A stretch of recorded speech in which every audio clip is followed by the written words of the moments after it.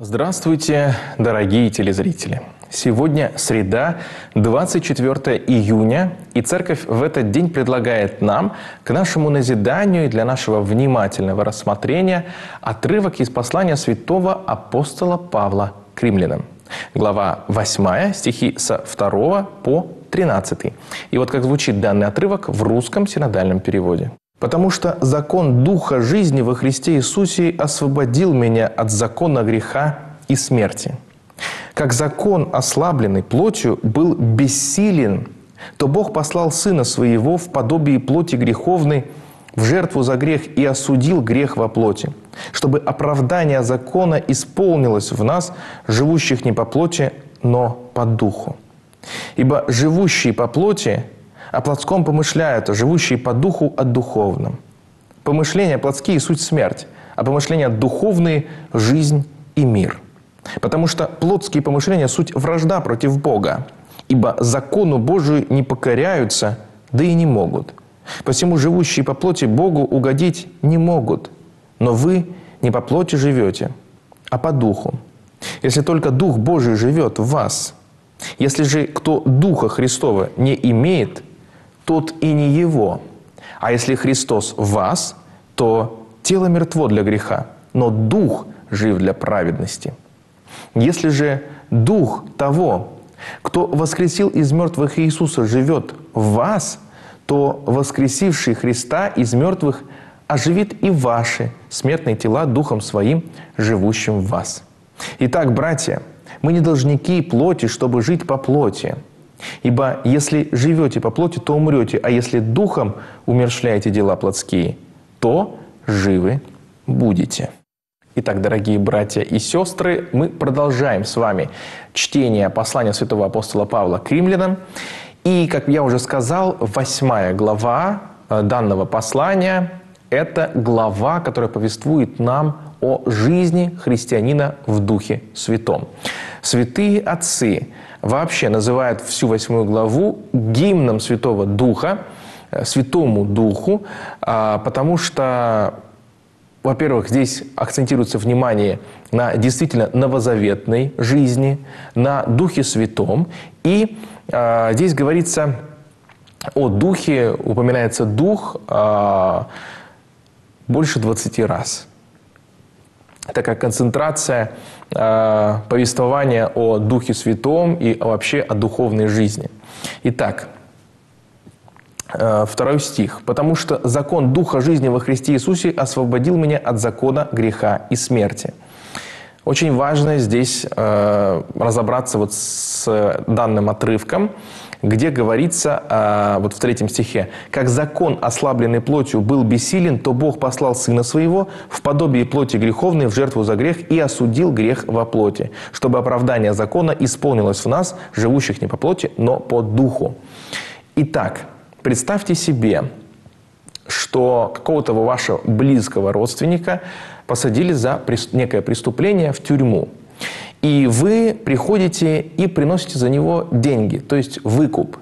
И говорите о том, говорите судье о том, что вы готовы выкупить его из темницы э, и сами готовы взять э, на себя вину этого человека.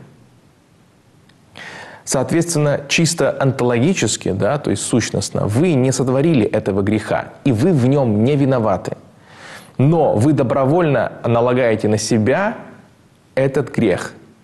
Грех как преступление вашего родственника. Таким образом, вы искупаете грех этого человека, беря его грех на себя. Греховно, виновны ли вы а, в э, том преступлении, которое он совершил? Нет. Но вы добровольно несете последствия этого преступления на себе. В этом контексте очень важно то, что сделал Христос – и то, о чем говорится в данном отрывке. Э, самое важное, что здесь, э, не ошибитесь, здесь есть неточность одна в переводе. Э, «Как закон, ослабленный плотью, был бессилен, то Бог послал Сына Своего в подобии плоти греховной». Плоть, греховная плоть, Христос не был в грехе. не был под грехом. А, Христос, как уже сказано, вот, э, искупил нас. И по догматическому нашему учению говорится о том, что Христос, Он воспринял а, наше тело а, во всей полноте, в подобии плоти греховной.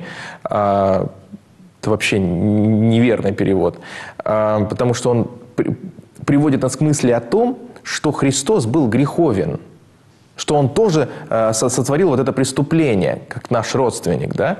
Но нет, на него не распространялось действие э, греха. Он воспринял, как говорят святые отцы, неукоризненные страсти. То есть он голодал, э, он э, жаждал и так далее, замерзал, ему было жарко. Вот. Но он не воспринял э, страсти греховные. Он не был грешным человеком. То есть как раз-таки Он и принес за нас эту жертву судье. Он выкупил нас у суда греха. Таким образом, как закон, ослабленный плотью, был бессилен, то Бог послал Сына Своего э, в плоти, Он действительно воплотился, в жертву за грех и осудил грех во плоти, чтобы оправдание закона исполнилось в нас, живущих не по плоти, но по духу. И здесь дух должен стоять с большой буквы. Ибо живущий по плоти о плотском помышляет. И дальше говорится о том, что такое жизнь в духе. Жизнь по плоти, жизнь человека плотского, а, который живет под законом, а, это а, жизнь человека во грехе. Но Христос нас искупает, выкупает из рабства греху, выкупает нас из вот этого нашего временного пребывания под гнетом греха и осуждающего нас закона. И мы наделяемся духом, но от нас зависит должна вера и важно действие нас по этому духу. И как раз-таки в дальнейшем, с 5 стиха, апостол Павел противопоставляет жизнь в плоти и жизнь по духу. Помышления плотские – суть смерть, а помышления духовные – жизнь и мир, потому что плотские помышления – суть вражда против Бога. Ибо закону Божию не покоряются, да и не могут. Посему живущие по плоти Богу угодить не могут. Но вы не по плоти живете, а по духу, опять же таки, с большой буквы должно быть. Если только Дух Божий живет в вас. Если же кто Духа Христова не имеет, тот и не его. Итак, очень важное замечание – кто не имеет Духа Христова, тот и не его. Мы принадлежим Христу. Духа Святого мы можем стяжать через веру. Нет ничего такого, что мы могли бы сделать и стяжать Святой Дух, какое-то действие. Только если мы уверуем во Христа, в то, что Он воскрес, умер за нас, вознесся и даровал нам Дух Святой. Если мы в это веруем – то Бог может нам послать, и мы начнем изменяться.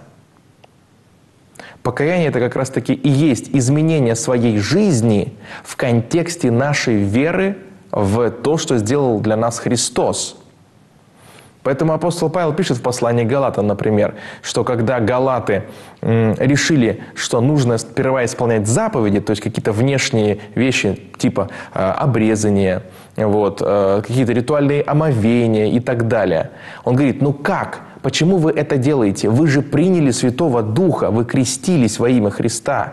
Вы, перед вами э, как будто был начертан крест Христов, и вы видели распятого Господа. И вы поверили, и апостол Павел свидетельствует о том, что они приняли Святого Духа. И он говорит, как же так? Вы начали Духом, окончаете плотью. Поэтому первично, конечно же, наше обращение к Духу Христовому, чтобы нам жить по Духу. И весь опыт святоотеческий говорит нам об этой жизни в Духе Святом. Поэтому настолько богатая, разнообразная жизнь святых отцов, жизнь святых вообще, различные подвиги, как они вдохновлялись и по сей день вдохновляется. Поэтому ищите Духа Божия, дорогие братья и сестры, э, в Святом Писании, в нашей жизни. Творите добрые дела, творите заповеди Христовы о любви к ближнему и к Богу. А, всем радости о воскресшем Господе и до новых встреч. Господь